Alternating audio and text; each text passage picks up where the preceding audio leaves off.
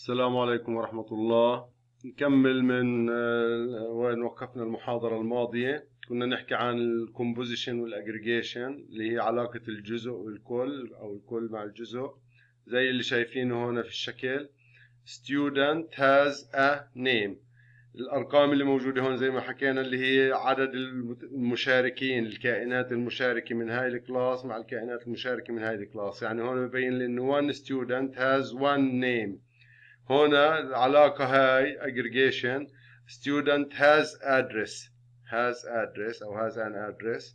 إنه ال one address can be for more uh, than one student. يعني من طالب لثلاث طلاب. يعني العنوان الواحد ممكن يكون فيه ثلاث طلاب بحد أقصى وواحد بحد أقل. لأن علاقة الكومبوزيشن زي ما أنتم شايفين يتم تمثيلها أو التعبير عنها بالشكل المعين هذا المظلل. وعلاقة الاجريجيشن بالشكل المعين اللي هو مفرغ من الجوا لأن كيف الفرق بين ال composition وال aggregation طلعوا إنه name ال object name does not exist without a student. يعني ما بنلاقي اسم بدون student. بينما ال address exists without the student. عشان هيك الفرق بيناتهم شوي هيك عميق حقيقة عشان هيك كثيرين بيتعاملوا معها إنها علاقة اجريجيشن بدون ما يفرقوا إنها آه، جزء من كل بهذه الصيغة أو جزء من كل بهذه الصيغة.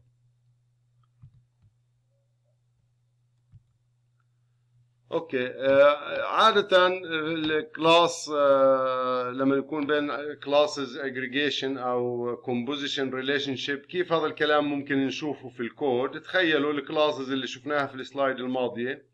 اللي name و address و student لو عندنا class name بغض النظر شو فيها و class address بغض النظر شو فيها. إذا في ال class student في عندي attribute اسمه name من النوع name. معناها هذا الكلام يعبر عن علاقة إنه name جزء من student. وإنه ال address جزء من student. عشان هيك العلاقة بين هاي ال class وهاي علاقة aggregation أو composition. طبعا زي ما شفنا الفرق البسيط بينهم. والعلاقة بين هاي ال class وهاي ال class علاقة aggregation. إنه the address is part of student. The name is part of student. okay okay. آه، طبعا هنا بعيد الكلام اللي حكيناه قبل شوية إنه علاقه ال aggregation وال composition relationship قريبات كثير من بعض البعض عشان هيك كثيرين ما بفرقوا بيناتهم بتعامل معهم على أساس هي نفس العلاقة. لأن ممكن يكون عندنا aggregation ما بين ال class ونفسها. إنه يكون something has a something من نفس النوع. يعني زي علاقة ال person مع المشرف. ال person مع ال supervisor تاعه ف person has a supervisor إنه أو ال supervisor has many persons to supervise هاي العلاقة علاقة اجريجيشن ما بين الشيء ونفسه. تمام؟ إنه الشيء في جزء منه شيء من نفس نوعيته. لأن هذا الكلام زي ما هيك ممكن نشوفه في ال Java code في ال class person في عندنا array of persons as supervisors. تمام؟ شايفين هذه هذه ال array هذه ال array نوعها من نفس نوع ال class. فهي علاقة اجريجيشن بين الشيء ونفسه. آه، مثال آخر هي ال course class هذا مثال على ال object oriented program كيف نفكر في تعريف ال classes وإيجاد الحلول. ال course class ال course array of students enrolled in the uh, course number of students عدد الطلاب وهاي ال methods اللي موجودة فيها. ال class هذه لها constructor واحد في method اسمه get course name add student drop student. طبعا هون كل method من ال methods اللي موجودة أو attribute إيش الوصف تاعه موجود عندنا هون. إذا بدنا نشوف ال implementation تاع ال class هذه بنضغط على هذا ال link. وإذا بدنا نشوف testing لها نشوف كيف استخدمت وأنشأ كائنات منها واستخدم ال methods هذه بنضغط على هذه الأمثلة. كل واحد فينا بتطلع عليها لحاله يعني زي ما حكيت لكم. ال links هاي فعالة ما دام انت مشبوك مع الانترنت. مثال آخر stack of integers طبعا إحنا بنعرف ال stack سمعنا عنها سابقا أعيد لكم إياها بشكل مختصر. ال stack هي عبارة عن آلية لترتيب البيانات وتنظيمها في الذاكرة حسب مبدأ last in first out. عشان هيك بسموا ال stack LIFO data structure. LIFO last in first out. الواصل آخرا الخارج أولا. okay؟ لأن ال class تاعتنا هذه موجود فيها ال attributes elements اللي هي البيانات اللي راح تكون فيها البيانات تاعت ال stack وال size اللي هي عدد العناصر اللي موجودة. ال methods اللي موجودة هنا طبعا ال constructors بنعرف شو يعني constructor صرنا فيها اثنين constructors واحد اللي مالوش arguments اللي بيعطي default values وواحد اللي هو stack of integers هذا بأخذ parameter واحد اللي هو ال initial capacity يعني لما بده ينشئ ال stack كم راح يكون عدد المواقع التخزينية اللي بتستوعبها. ال methods اللي موجودة فيه method اسمه empty هذا ال method برجع لنا true false. إذا كانت ال stack فاضية true إذا كان فيها elements false.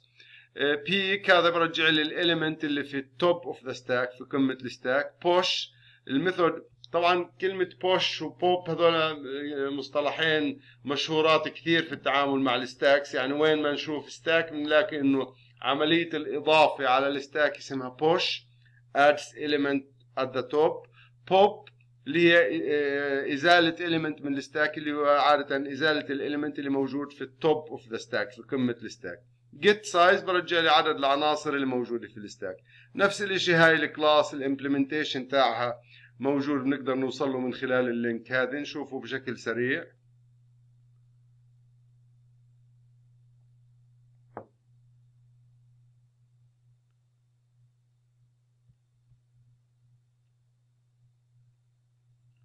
sorry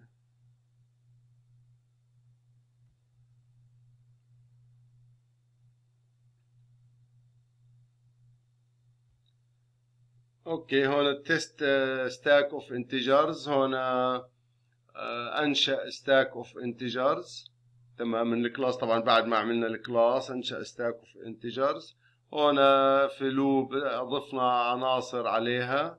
وهون while not stack empty زي ما إحنا شايفين هون بده يعمل demonstration كيف نستدعي ال methods اللي موجودة في ال stack class في عندنا ال method push بضيف عليها بوب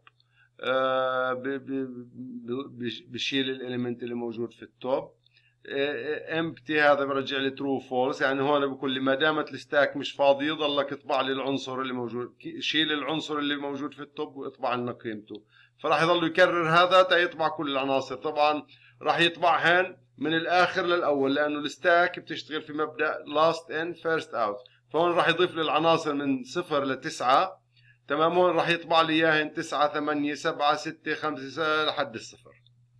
okay؟ هذه بالنسبة لل class stack. طبعا هون ال stack class تاعتنا هذه اللي شفناها هون كيف الفكرة تاعتها المبدأ تاعها. ممكن نتخيل ال stack كوعاء بهذا الشكل. بداية بتكون فاضية. لما نضيف نعمل push ل element موجود فيها element واحد. نعمل push صار فيها two elements. نعمل push صار فيها ثلاثة elements. لما بنعمل بوب شايفين آخر element ضفناه اللي هو data 3 هذا. هو أول element بنعمل له حذف من ال stack pop فعشان هيك بسموا ال stack last in first out data structure. okay الآن ال stack of integers طبعا ممكن إحنا زي ما عملنا لها implementation في array يعني العناصر تاعت ال stack مخزنة في array. كيف انت بتعرف array بنعرف إحنا ال arrays كيف نعرف array كيف نوصل لل elements اللي فيها؟ لما بدك تضيف على ال array وين بتضيف؟ على آخر ال array ولما بدك تعمل حذف من ال array بتحذف من آخرها عشان اول آخر عنصر ضفناه هو اول عنصر نسترجعه. هاي برضو ال implementation لل stack of integers موجود هنا كاملا لل class كاملة كل ال methods اللي موجود فيها push و pop و peek و boolean آه عفوا و empty كل ال methods اللي شفناها في ال stack موجودة. بإمكانكم تطلعوا على ال class هاي وتعملوا لها testing على آه، كمبيوتراتكم. okay الآن آه، في عندنا مجموعة من ال classes الجاهزة. طبعا نعرف إحنا إنه جافا object oriented programming language وبتدعم نمط الكينوني في البرمجة وبتشجع هذا الأمر. إحنا شفنا سابقا أنواع البيانات الأساسية اللي هي انت وشورت ولونج وفلوت ودبل وبوليان وكاركتر كل الأنواع هاي. شفناها ذاكرين مثلا كلمة boolean اللي عرفناها زمان كانت capital small b character char ب small c short ب small s byte ب small b int int ب small i long ب small l هذول هذول ال primitive data types بسموهن مش objects يعني لما أعرف أنا int x تساوي واحد. X is a, an integer variable whose value is 1 بينما إذا أنا بدي أتعامل مع ال integer values as objects في عندنا مجموعة من ال classes أو ال long أو ال boolean أو أي نوع من الأنواع الأساسية هذه. في عندنا مجموعة من ال classes هذول بسموهن ال wrapper classes wrapper class يعني class بإمكاننا نستخدمها لتغليف ال primitive values بغلاف objects عشان نتعامل معها ك object يعني مثلا عندنا int x تساوي واحد x is an integer value. إذا بدي أتعامل مع ال x هاي ك آه، أو القيمة واحد ك integer object بإمكاني أنشئ كائن من ال class Integer أقول مثلا Integer x أو أسميه يساوي new Integer وال parameter واحد. في هاي الحالة راح ينشئ لي integer object تمام؟ قيمته واحد. مش integer variable primitive data type هنا object راح يكون اللي موجود عندنا. هاي ال classes بسموهن wrapper classes عشان بإمكاننا من خلالها نغلف القيم اللي من الأنواع الأساسية بغلاف objects ونتعامل معها ك objects في داخل برنامج جافا لأنه جافا يعني بتحتاج نمط استخدام ال objects في كثير من حلول المسائل. هاي ال classes جاهزة طبعا كلياتها موجودة في ال package java dot lang. مثلا ال Integer class موجود فيها ال variable value اللي هي قيمة ال integer وفيها two constants max value min value اللي هو ال maximum integer وال minimum integer values وال methods اللي موجوده فيها هاي ال methods اللي موجوده في ال Integer class آه يعني هذه ال methods هذه ال methods آه، شفتوها بجوز ذاكرين ال method parse int ذاكرين هذا ال method استخدمناه كثيرا parse int طبعا هون في ال UML في ال UML بس عشان ننتبه لشغله الاشي اللي بيكون في التعريف هون محطوط تحته خط؟ هذا بيكون static فمثلا هاي ال class موجود فيها هاي static constant static constant وهذول static methods عشان هيك parse آه، int كنا نستدعيه مع اسم ال class دون ما ننشئ كائنات منها. بينما هذول ال methods اللي موجوده هون اللي ما في تحتهم خط هذول instance methods يعني عشان تستدعي أي واحد فيهم لازم تنشئ object من ال class Integer بدون ما يكون عندنا object من ال class هاي ما بقدر استدعي هذا أو هذا أو هذا أو هذا ال method. بينما ال methods هذه الأربعة الأخيرة هاي ال methods static methods بإمكاننا نستدعيها باستخدام اسم ال class. تمام؟ نفس الشيء ال class Double بنفس الطريقة. okay طبعا ال ال wrapper classes هذه كيف ممكن ننشئ كائنات منها؟ مثلا ال Integer class كيف ممكن بستخدم ال constructor نعطي int value يعني لو بدك تنشئ integer object Integer بتعطي ال reference name equals new Integer وال value القيمة اللي بدك تعطيه إياها. okay؟ نفس الشيء double طبعا في عندنا two constructors في كل واحد فيهم إذا انتبهتوا هون. إنه ال Integer class ال Integer class فيها constructor باخذ parameter int و parameter باخذ string. يعني بإمكانك تنشئ integer object من int value بإمكانك تنشئ integer object من string value that can be converted to an integer. يعني مثلا ال string 1 2 3 ممكن نحوله ل integer value. okay تمام. هذا وصف آه، أوسع لل classes هذه بإمكانكم تشوفون. طبعا في كل class موجود في conversion methods ال methods هاي اللي بإمكاننا نستخدمها للتحويل من نوع لنوع آخر. إذا أنت بدك تحوله ل double أو float بدك أو أنت بدك تحوله ل float أو long وهكذا طبعا موجودات ال methods هنا في ال class يعني هون float value هذا ال method برجع لي float من int double value برجع لي double من int long value برجع لي double long من int تمام؟ مثلا هون في ال Double class int value برجع لي int من double long value برجع لي long من double وهكذا. تمام؟ هذه بالنسبة ل آه وفي عندنا method اسمه value of فاليو اوف هذا الميثود برجع لنا آه من من object create